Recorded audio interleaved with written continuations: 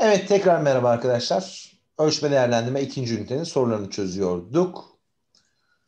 Şunu bir açalım baştan.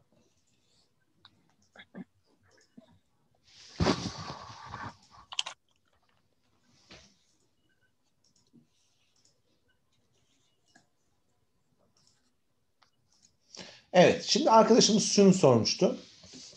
Ee, tekli uygulamalarda şöyle, çiftli uygulamalarda şöyle diyebilir miyiz? Deriz ama biraz daha değişik. Şöyle söyleyeceğiz. Şimdi güvenlik denetleme yolları diyelim. Tek uygulamalar diyelim. Tek uygulamalar. Bu tarafa da çift uygulamalar diyelim. Tek uygulamalar KR20, KR21, Alfa Kronbach ve testi yarılamadır. Ve bu tek uygulama sadece iç tutarlılığı ölçer. Gelelim çift uygulamalara. İşte sizin söylediğinizi biraz burada detaylandırıyorum. Çift uygulamalar aynı test iki defa uygulanırsa test tekrar yöntemi oluyor ve bu kararlılık oluyor. Bir de aynı test değil, paralel iki test uygulanabilir. Paralel iki test iki kere uygulanırsa buna da tutarlılık deniyor. Şimdi söylediklerimizi toparlayalım. Aynı testi iki kere uygulayabilirim. Buna test ekran yöntemi deniyor ve kararlılık ölçülüyor. Benzer iki testi, paralel iki testi uygulayabilirim. Buna paralel testler yöntemi deniyor ve tutarlık deniyor. Bir de tek uygulamayla ölçebilirim. Orada da tek uygulamayı KR20, KR21, alfa kromlah ve test yarılamayla ölçebilirim. Senin dediğin şablon oturdu değil mi Gizem? Evet hocam çok iyi anladım sağ olun. Hadi bakalım devam edelim. 11'i çözmüştük. 12'deyiz. Bir Türkçe öğretmeninin 50 kişilik gruba uyguladığı okuduğunda anlama testinin iş tutarlık katsayısı 0.94'tür. Mesela ben soruyu hiç okumadan şu bilgilerden hemen şöyle yaparım. İş tutarlık katsayısı 0.94 ise güvenlik yüksek derim. Burası da bilmiyorum derim. Burası da geçerli derim. Bu testin uygulanması ile ilgili aşağıdakilerden hangisi kesinlikle ulaşılabilir diyor. Testin güçlük düzeyi düşüktür. Güvenlik ve geçerlik katsayıları testin yüksek ya da düşük güçlükte olduğunu göstermez, bilemeyiz. Sorular öğrencilere zor gelmişti. Zorluğu, kolaylığı göstermez, bilemeyiz. Testin madde örneklem gücü düşüktür. Testin madde örneklem gücü dediği şey kapsam geçerliğidir. Kapsam geçerliği bilemem. Çünkü kapsam geçerliği burasıdır. D. Testin yapı geçerliği bilemem. Çünkü testin yapı geçerliğini bilmek için burayı da bilmek gerekiyor. E. Test tek boyutlu bir yapıyı ölçmektedir. Bir kere iş tutarlık yüksekse biraz önce Hulusi Hoca'nın söylediği gibi bir güvenlik yüksektir. iki iş tutarlık yüksektir. Üç sorular homojen ve benzeşiktir, tek boyutludur diye yorum yapılabiliyordu. Geçtik 13. Bir öğretmenin uyguladığı paralel testlerin hesaplanan korelasyon katsayısının düşük olmasının nedeni aşağıdakilerden hangisi olamaz diyor. Bir öğretmenin uyguladığı paralel testlerin korelasyon katsayısının düşük olması hangisi olamaz? Şimdi paralel testler neyi ölçüyordu? Güvenilirliği. Peki güvenlik neyle alakalıydı? Yanlış yazdım buraya. Şuraya yazmamam gerekiyordu. Şuraya geçerlik diyelim.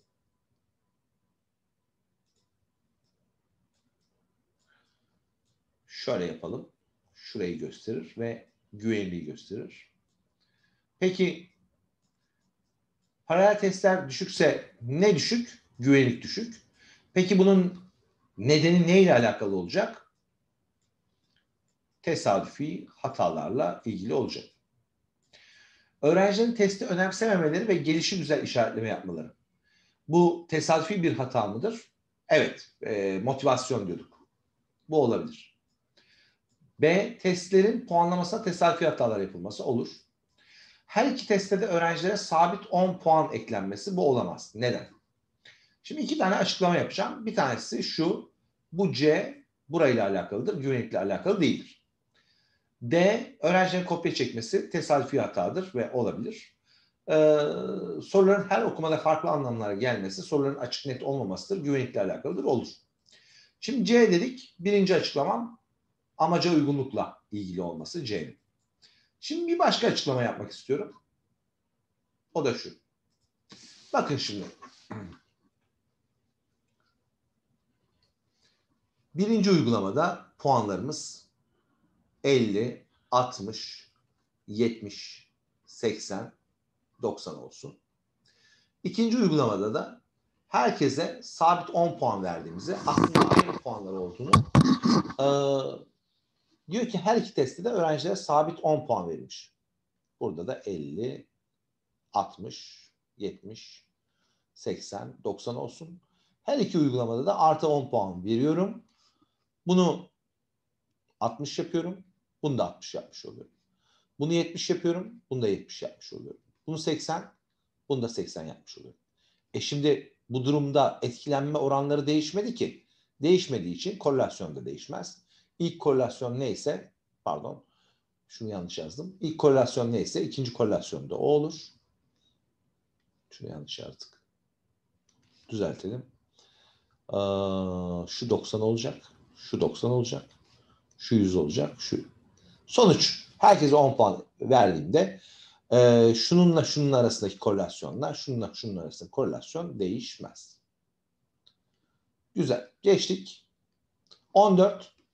Bir test uygulandıktan sonra tekler ve çiftler olarak maddeler ikiye ayrılmış ve ha bu iki yarı test puanları arasındaki korelasyon katsayısı 0.60 olarak bulunmuştur. Tüm testin güvenlik katsayısı kaçtır? Bunu anlatmadım. İstatistik içinde anlatacaktım. Şimdi söyleyebilirim. Şimdi şurada bir testimiz var. Bu testi tekler çiftler diye ayırıyoruz. 1, 3, 5, 7 diye 99'a kadar.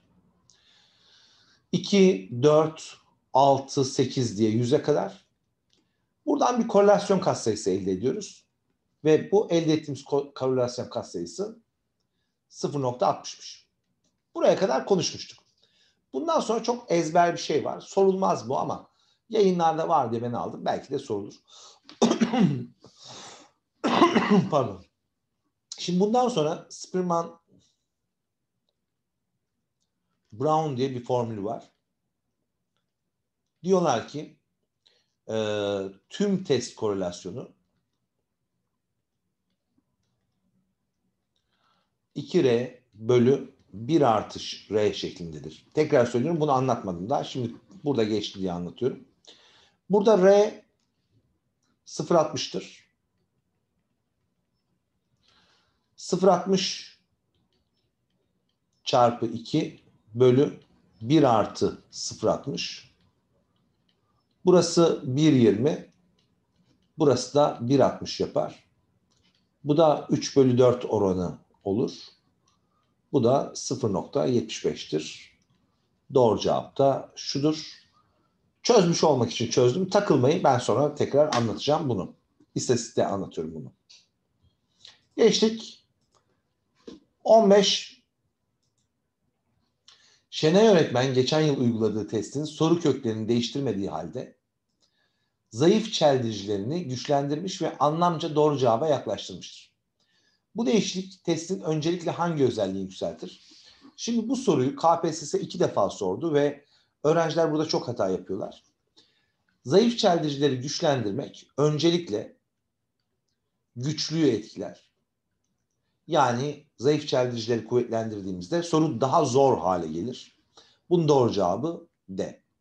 Öğrencilerim diyor ki peki hocam bu güvenliği etkilemez mi? Geçerli etkilemez mi? etkiler.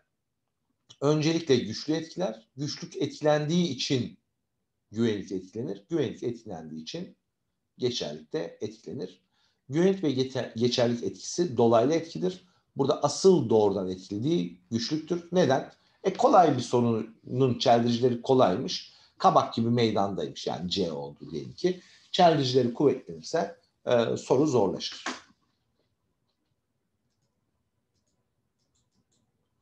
On altı bir matematik öğretmeni hazırladığı testi uzmanlar kuruluna göndererek görüş istemiştir. Gelen görüşte soruların doğru olmasına rağmen sorular doğruymuş. Soruların ölçtüğü özelliklerin milli eğitim programlarının önerdiği üst düzey becerileri ve önemli genellemeleri yoklamaktan uzak diyor. Sorular doğruysa güvenlikte bir sıkıntı yoktur. Ama milli eğitim programlarının ve kazanımları yoklamaktan uzak olması kapsam geçerliğini düşük hale getirir. Bunun da doğru cevabı E'dir.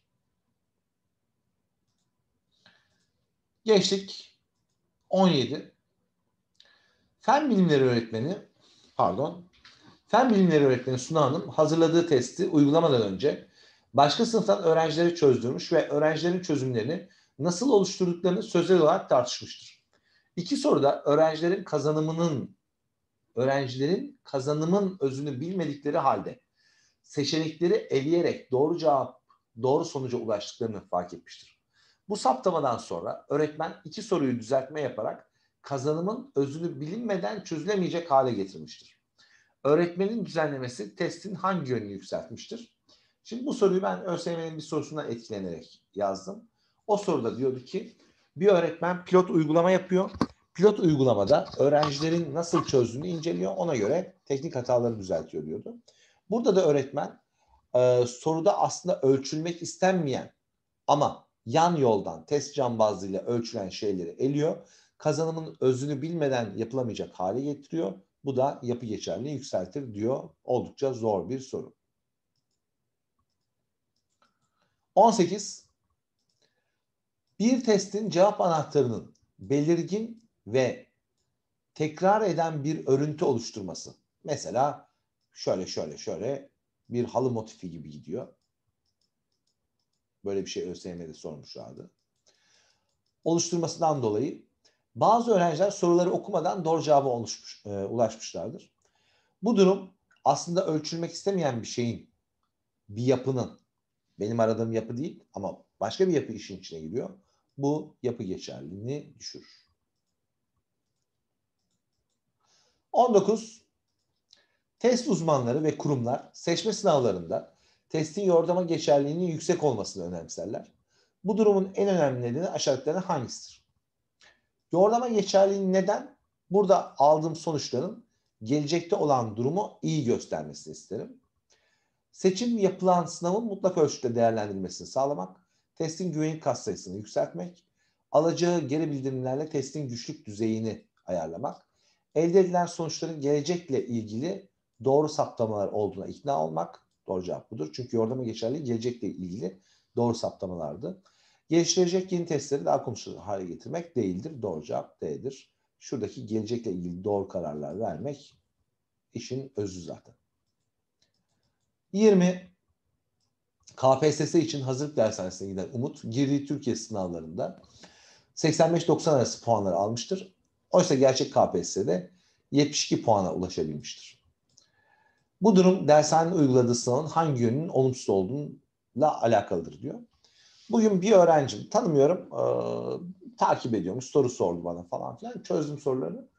E, hocam dedi geçen sene aynı böyle bir durum olmuş. Geçen sene dershanede yüksek puanlar aldım deneme sınavlarını ama KPSS'de o puanı alamadım dedi. Çok daha düşük aldım dedi. Bunun en önemli sebebi dershane sınavlarının e, bazı özelliklerden dolayı. Mesela ne olabilir? Efendim e, kalıp sorular soruyor olması, ÖSYM gibi orijinal sormuyor olması gibi farklı nedenler olabilir. Birçok dershane yayın evi kendi kitabında olan şeyleri soruyor ama ÖSYM'ye dikkat etmiyor. Bu neyin düşük olduğunu gösterir. Yordama geçerliğinin düşük olduğunu gösterir. Ee, buradan son bir haftada bana her gün 30-40 tane mesaj geliyor WhatsApp'a. Soru çözümü isteyenler oluyor, başka bir şey oluyor falan filan. Sizden de geliyor, başka arkadaşlardan da geliyor. Hiç tanımadığım YouTube'dan öğrenciler de e, yolluyor. Onları da çözüyoruz. E, son hafta gelen soruların en az 7-8 tanesi ya hocam işte ben iyi çalıştım, Denemelerde de iyiydim ama sınavda olmadı. Neden diyorlar. Ben bunu hep anlatmaya çalışıyorum. Yine kısacık söyleyip geçeyim. Ee, siz neye çalıştınız? Ee, oturdunuz kitaba çalıştınız. Bir kitaba çalıştınız. O sorulmadı. E neyi çalışacağınız? ÖSYM'ye çalışacağınız. ÖSYM'nin ne sorduğu çok önemli. Ee, tabii burada insanlar iyi niyetli. Ee, kitaplar ÖSYM'yi baz alıyor diye düşünüyorlar. Burada iki tane problem oluyor. Birincisi iyi niyetli bir problem. Öğretmen ya da yazar iyi süzemiyor KPSS'yi, ÖSYM'yi. Bu iyi niyetli, kötü niyetli değil. Bir de kötü niyetli bir durum var. O da şu.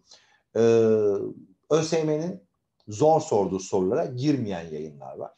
E, daha kaymaklı olsun, öğrenciler kolaydan öğrensin falan diye böyle iki tür durum var. Bunları hep anlatıyoruz. Durum budur. E, Semih Hoca diyor ki e, hocam C neden değil diyor. Konuşalım. C neymiş? Güvenlikmiş. Ee, şimdi anlatalım. Hocam e, şey uygunluk uygunluk geçerli. Aa, pardon mi? pardon ben yanlış yerledim. Tamam. Şimdi bakalım. Ee, Semiha hocamız şimdi çalışıyor.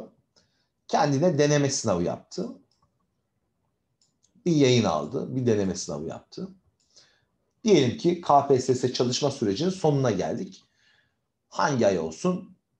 Nisan, Mayıs hay- aylarında, Haziran ayında deneme sınavı yaptığını ve bu deneme sınavından eğitim bilimlerinden 80 soruda 70 yaptığını ki 70 iyi bir net.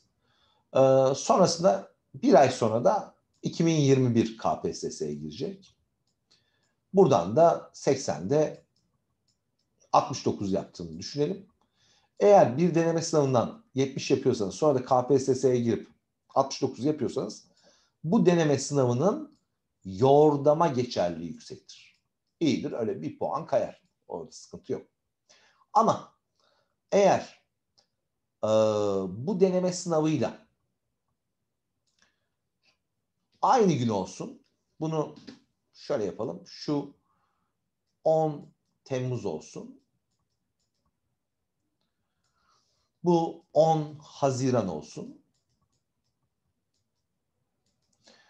Geleceği gösterme gücü yordama. Şimdi bir de şöyle düşünelim. Aynı gün 10 Haziran'da e, benim hiç görmediğiniz mesela 2017'yi hiç görmediğinizi varsayalım. Şu anda görüyorsunuz siz yayınlarda falan. 2017 sınavını e, Semiha Hoca'ya yaptırdığımızı varsayalım. Semiha Hoca 2017 sınavından da 80'de 68 yaptığını varsayalım. Şimdi bu deneme sınavının geçmişte yapılan bir sınava ne kadar uygun olduğu uygunluk geçerlidir. Sonuç. E, hocamızın sorduğu soruyu toparlayalım. O sınavın gelecekte yapılan bir sınavı gösterme gücü yordama, geçmişte yapılmış bir sınava ne kadar uygun olduysa uygunluk geçerlidir. Bakalım şimdi. KPSS için hazırlık dershanesine giden Umut Türkiye sınavlarında 95 85-90 puan almıştır. Oysa gerçek KPSS. Burada hazırlık dershanesinin sınavının burada olduğunu, gerçek KPSS'nin sonra olduğunu yorumlamamız lazım. Burada da o anlam çıkıyor. Gelecekle ilgili bir ay, iki ay, altı ay sonrayı söylediği için de yordama geçerli. Semiha kafana yattı mı? Hocam süper oldu. Çok teşekkür ederim. Rica ederim. Çok iyi anladım. Geçtik 21. 8. sınıf öğrencisi Seda geçen yıl matematik dersinde yüksek not almasına rağmen ee, bu yıl yeni öğretmeninden ancak sınıfı geçe, geçmesine yetecek kadar puan alabilmektedir. Şöyle bir modelleyelim. 8. sınıf öğrencisi Seda ee, geçen sene 7. sınıftayken matematiği yüzmüş. Şimdi zorlanıyor ve 60 alıyor diyelim ki ancak geçecek kadar alıyor. Bu durumu öğretmene bir şikayet olarak ileten baba öğretmenden şöyle bir cevap alır. Geçen yılki öğretmenimizin verdiği puanları merkeze almanız doğru olmaz. Benim puanlarımı da merkeze almayın. Aferin. Ancak geçen yıl milli eğitim veya uzmanlardan oluşmuş bir kurulun sınavını örnek gösterirseniz ikna olabilirim.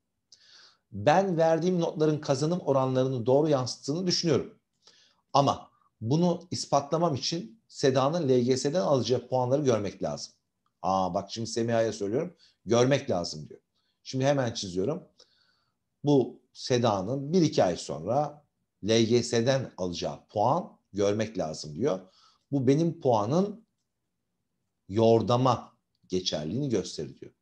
Oysa siz tutup 7. sınıf öğretmeniyle karşılaştırıyorsunuz. Bu uygunluk geçerliği diye düşünüyorsunuz. Ama uygunluk geçerliği olabilmesi için 7. sınıf öğretmenin puanları belki o geçerli değil. Daha düzgün bir LGS puanı gibi sağlam bir şey söyleseydiniz ikna olurdum diyor. İnşallah ben yanılıyorumdur der. Seda LGS matematikte üst düzey başarı gösterir. İnşallah ben yanıl, yanılıyorumdur der ve Seda LGS matematikte üst düzey başarı gösterir. O kötü olmuş. Yani aslında 7. sınıf puanının yordama geçerliği iyiymiş. 8. sınıf öğretmeni bence patates olmuş burada. Düşük not vermiş. Öğretmenin geçen yılki notları merkeze alınamayacağını söylemesi aşağıdakilerden hangisiyle ilgilidir? Uygunluk geçerli incelenirken testlerden birisinin geçerli ol, olduğu bilinmelidir. Doğru. Görünüş geçerlilik tüm geçerliği ispat eden bir kriter değildir. Bununla alakası yok. Yordama geçerli incelemek için öğretmen yapım testler uygun değildir. Hayır. Güvenlik bir güvenilir bir test her zaman geçerli olmayabilir. Alakası yok. Kapsam geçerlilikleri farklı iki test kıyaslanamaz. Hayır kapsam geçerlilikleri aynı. Çok güzel bir soru olmuş. Burada öğretmen geçen seneki notları merkeze alınamayacağını söylemesi. Ee, burada öğretmeni merkeze almayın. Uygunluk geçerli için kesinlikle geçerli olması gerekir diyor. Ee, ama kendisininki kötüymüş, öbürünki merkeze alınabilirmiş. Ondan sonra çünkü öyle demiyor hocam ya şey diyor. İnşallah ben yanılırım yani diyor. Hocam. Yani aslında Hı. benimki yanlış demiyor. Aa pardon özür dilerim ya. Ben yanlış yorumladım. Hı, evet. Haklısınız. Şurayı evet. sileyim. Seda, ben şu cümleyi böldüm. İncelik ve, yapıyor hocam yani. Ve Seda LGS matematikte üst düzey başarı gösterir diyor. Ben şurayı atladım. Haklısınız. Şurada tırnak işareti var. Öğretmenin konuşması burada bitiyor. Ee, ben yanıldım. Ee, yani yanlış yorumladım soruyu. Baştan yorumluyorum.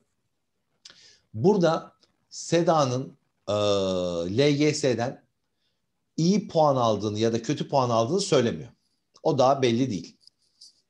Ama diyor ki e, benim puanımı karşılaştırıyorsanız 7. sınıf öğretmeniyle karşılaştırmayın. Onun da LGS gibi sağlam bir puanla karşılaştırabilirsiniz ancak diyor.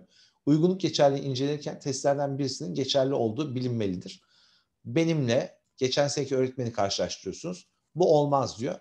Benimle mesela LGS ile karşılaştırabilirsiniz ya da çok sağlam bir test olduğuna güveniyorsunuz karşılaştırabilirsiniz diyor. Doğru söylediniz ben şuraya atlamıştım. Geçtik.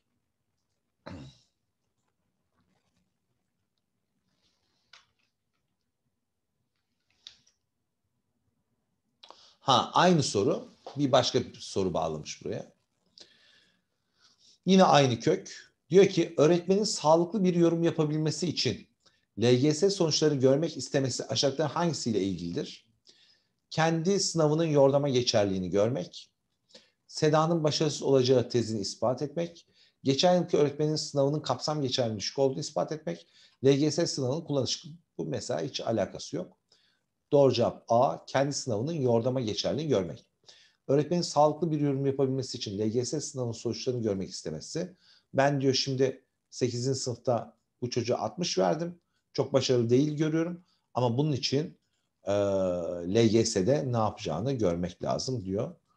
Bu da aynı köke bağlanmış diğer soru.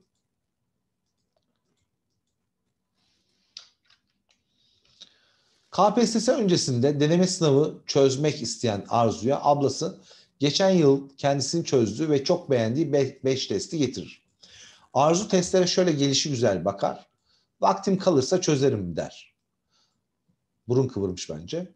Ablası beğenmedim mi diye sorunca adı sanı duyulmamış bir yayın. Bana ne katacak ki der. Ablası geçen yıl sınava girince bu testlerin ne kadar kaliteli olduğunu fark ettiğini söyler.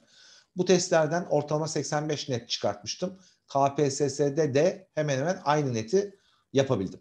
Şimdi bir kere burada arzu görünüş geçerliğine aldanıyor.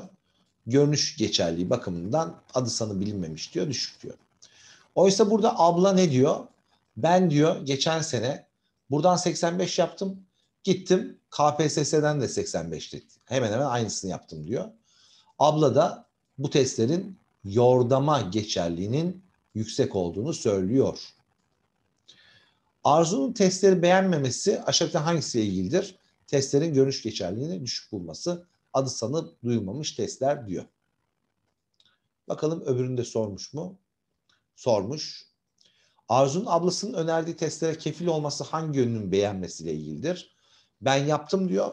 İşte 6 ay şey 6 ay demeyelim bir süre sonra aynı neti yaptım diyor gerçek sınavdan da. Bu da testlerin yordama geçerliğinin yüksek olmasıyla alakalıdır. Hocam bir şey sorabilir miyim? Tabii buyurun. Burada adı sana duyulmamış diyor ya bu görünüş Aa. geçerliliğiyle nasıl alakalı oluyor? Yani ünlü popüler reklamının olmaması yüzünden mi? Ha çok güzel. E, Anladım soruyu. Şöyle görünüş geçerliği bir testin başlığı, puntosunun yani iç kalitesine bakmadan dışarıdan ilk bakışta kaliteliymiş ya da kalitesizmiş gibi algılanmasıdır. Doğru mu? hmm, kalite tamam. Ha. Peki ama görünüş geçerliği hakikaten okuyup içini uzmanca bir tavırla incelemekle mi alakalıdır? Hayır. Başlığından yola çıkarak, puntosundan yola çıkarak e, böyle düşünmek görünüş tamam. Hocam ben de bir soru sorabilir miyim? Buyurun. Hocam mesela bir matematik testinde içinde böyle Türkçe paragrafı yazan bir soru olsa ben buna görünüş geçerli diyeceğim? Türkçe bunu, sorusu- bunu çok soruyorlar bana. Bir anlamak istiyorum bu soruyu. Şimdi sizin söylediğiniz olayı bir daha söyleyin. Ne testiymiş, neymiş? Bir daha söyleyin orayı. Hocam mesela matematik testiymiş ama uzun uzun paragraf varmış. Orada anlatıyormuş her şeyi. Ama hani, e, Dur, dur. karşıdan bir görse- Dur ama bak şimdi bak dur. Bir anlayayım. Matematik testi bu. Diyelim ki ben 8. sınıf matematik öğretmeniyim. Peki sonunda uzun uzun anlatıyorum ama matematik soruyor muyum, sormuyor muyum? Onu söyle. soruyorum hocam. Ama uzaktan birisi gördüm anlayamıyor onu hani ilk bakışta. Neden anlayamıyor? Seçeneklerinde 70-80 demiyor mu? Evet, örneği şey yapamadım hocam. Oturtamadım. Ya hocam sanki bununla ilgili bir örnek görmüşüm de o aklıma geldi ama tam Bak aktaramadım. bana en az 70 defa sorulmuştur bu soru. Ben de 70 defa bu soruyu sormuşumdur. Mesela bir, bir söyleyeyim bir şey söylemek istiyorum. Birisinin hoşuna gitti gülüyor. Niye gülüyorsun? Söyleyin bakayım. Ay ben mi güldüm bir tek hocam ben güldüm de Gülcan niye güldün? Söyle bakayım. yani soruyu da anlamadık. Benim de kafama takıldı da ben de hatırlıyorum böyle bir şey o yüzden güldüm. Ne takıldı kafama diye. Vallahi ben size Bir şey söyleyeyim. kalmış bir yerden ama ne kalmış ben de Ya anlamadım. böyle çok soru var. Ama şimdi bak anlatayım ben biraz. Siz gene sorun. Diyor ki bir matematik testinin Türkçe testi gibi görünmesi falan diyor. Ama nasıl diyorum ben de. Ha yani matematiğe benzememesi. Tamam işte Matematik gibi durmuyor bana. ama matematik soruluyor. Şimdi bunun görünüş geçerliliği düşük mü oluyor? Dur ama acaba? nasıl bir, bir anlayayım ben bu durumu anlamadım. Biraz önce arkadaş anlattı dedi ki e, uzun uzadıya anlatıyor dedi. Matematik testi mi dedi. Evet ama matematik testi gibi durmuyor dedi. E sonunda seçeneklerde 20-30 yazmıyor mu falan dedim. Yazıyor dedi. E o zaman matematik testi sorun yok o zaman. Ya bu durumun ne olduğunu bana bir anlatın ben bir anlayayım. Ya hocam mesela Hocam. anne- ders çalışıyor çocuk. İşte annesi geliyor yanına. Ee, ama mesela testin paragraflardan oluştuğunu görüyor. Ama aslında matematik testi. Hani bu durumda mesela annesi hani bunu mat- çocuğu matematik değil de sanki sözel bir ders içerisine dair bir izlenim bırakıyor çocuk annesinde. Peki Hani sonunda seçeneklere bakıyor Ben de mu? görmüştüm bunu. Bir saniye. Peki sonunda seçeneklere Hocam, bakıyor mu e, anne? Hocam o kadar bilmiyorum yani ben. Peki Ama seçenek- hani bu tamam, o ben- genel olarak kapsam bu. Dur ama Hocam şimdi. şöyle Bir saniye adım adım gidelim. Şimdi şunu soruyorum ben. Sonunda seçeneklerde 30, 40, 20 yazıyor mu? yazıyor. Yazıyorsa öğret e, anne yarısına bakmış, yarısına bakmamış değil mi? Evet. Tamam. Evet. Yarısına bakıp yarısına ha, söyleyeyim. Yarısına bakıp yarısına bakmadan hüküm vermek görünüş geçerlidir. Doğru söylüyorsunuz. Bu oldu. Hocam mu? peki Bak burada sorun yok. Tekrar bunu söyleyeyim siz gene sorun. Yarısına bakıp yarısına bakmadan üstün körü bakarak hüküm vermek görünüş geçerlidir. Doğru. Katılıyorum. Bir arkadaşımız başka bir şey soruyordu. Buyurun. hocam, Hocam şimdi ben matematik deyince karışıyor işler. Yani sözel miydi, sayısal Başka mıydı bir şey ama söyleyeyim. evet fizikle matematikten gitsek mesela Buyurun. fizik sorularında bayağı bir böyle matematiksel işlemler gerekiyor. Aslında o fizik sorusu ama e, cevap da sayısal bir şey çıkıyor. Ya da mesela bir formül var onu böyle yorumluyoruz hocam. Hı yapı geçerliliğiyle alakalı. Dur dur. Dur Hulusi soracağım sana. Dur şimdi bu arkadaşın anlattığını anlayayım. Devam et. Böyle fizik sorusu ben bir e, şeyden yola çıkarak formüllerden bir şeylerden yola çıkarak en son sözel bir şey işaretleyeceğim mesela. Evet. E, buna matematik kullanıyorum ama bu fizik sorusu. Tamam güzel. Devam et. Bunda görünüş geçerliğine giriyor. Mesela odaya birisi geldi benim Dur işlemlerimi giriyor biliyor. deme. Dur giriyor deme. Hüküm verme. Giriyor mu de. Giriyor. Allah Allah. Birisi içeriye giriyor. Bakıyor aa diyor, burada bir sürü sayısal işlem var diyor. Onun matematik sorusu olduğunu aldanıyor. Ama o fizik sorusu.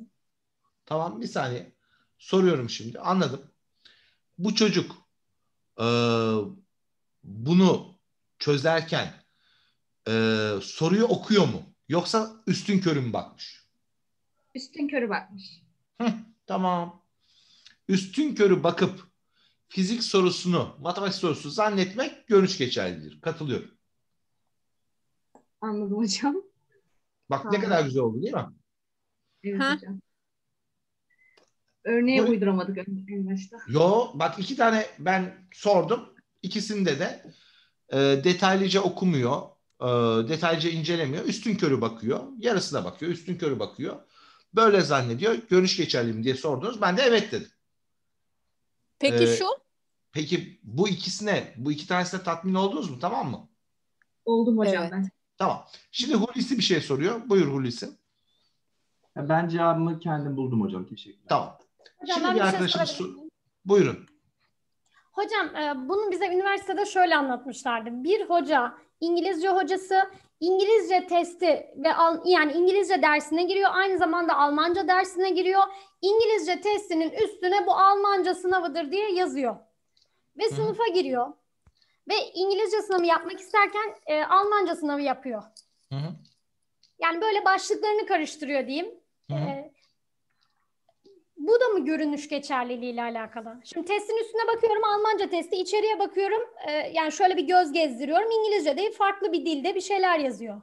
Bak ne kadar güzel söyledin. Bir göz gezdiriyorum dedin değil mi? Evet. Bir göz gezdirerek o başlıktan aldanmak görünüş geçerlidir. Evet. Teşekkür ederim hocam. Rica ederim. Bakın bir sürü soru sordunuz. Ben de cevap vermeye çalıştım. Fakat sorular sonrasında sesinizin tonunda şöyle bir şey hissettim. Evet, görünüş geçerli dedim, ama hep şuraya getirdim. Güzelce incelenmemiş değil mi? Ee, öylesine bakılmış değil mi? Dedim. Evet dediniz. Ben de evet dedim. Şimdi şuraya getirmek istiyorum lafı. Bu konuştuklarımızda, tartıştıklarımızda benim cevap verdiğimde e, sesinizin tonunda ya evet Murat Hoca da evet diyor ama sanki bir şeye ikna olmamışsınız gibi. E, bence şuna ikna kafanız karıştı. Siz e, yayınlarda şunu görmüşsünüz. E, bir matematik testinin fizik testi gibi içine bir şey karışması diye görmüşsünüz. Belki o sorunun içinde vardır, belki yoktur bilemiyorum ama bu görünüş geçerliği olabilmesi için oradaki e, insanın uzmanca bir bakış sergilemeden başlığına, puntosuna, içindeki bir iki sayısal özelliğe bakarak hemen hüküm vermesi görünüş geçerlidir. Şimdi benzer bir şey söyleyelim. Bizim bu sorumuzda da bu Arzu'ya ablası geçen yıl e, çözdüğü çok beğendiği 5 testi getiriyor. Arzu bu 5 teste uzmanca bir bakışla iyi mi diye bakıyor mu? Bakmıyor. Sadece e, markası ne, ismi ne falan diye bakıyor. İçeriğine, detayına girmediği için buna görünüş geçerli diyoruz. Ama uzmanca bir bakışla soruları okumuş olsaydı ve deseydi ki bu KPSS soruları böyle sorulmuyor. Bu çok farklı sormuş deseydi o zaman görünüş geçerliği olmazdı. O zaman yapı geçerliği olabilirdi, kapsam geçerliği olabilirdi. Anlaştık mı? Hocam yani kısacası ön yargı gibi bir şey değil mi? Evet, evet. Ben onu aldım. Evet, evet.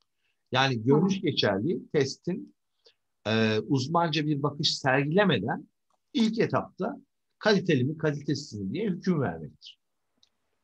Anlaştığımızı düşünüyorum. Anlaştık hocam. Teşekkürler. Tamam.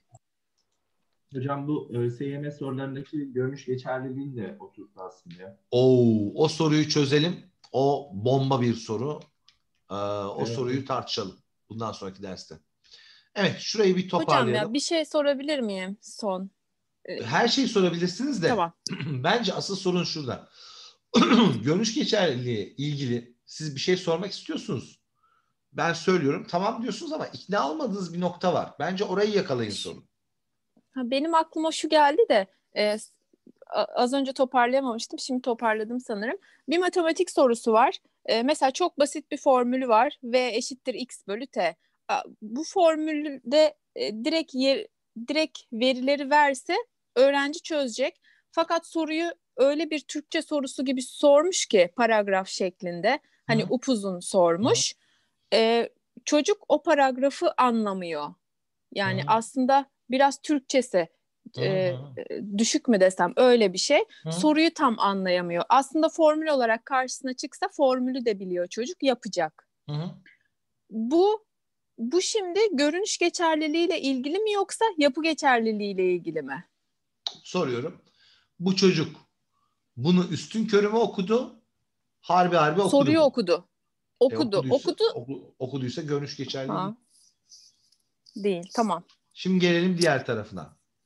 Peki bu öğretmen matematik becerisinin dışında aslında oraya katılmaması gereken bir başka yapıyı katmış mı? Katmış. Yapı geçerli. Katmış, katmış. Tamam. Ee, ben şunu göstermek istedim size e, cevaplarken.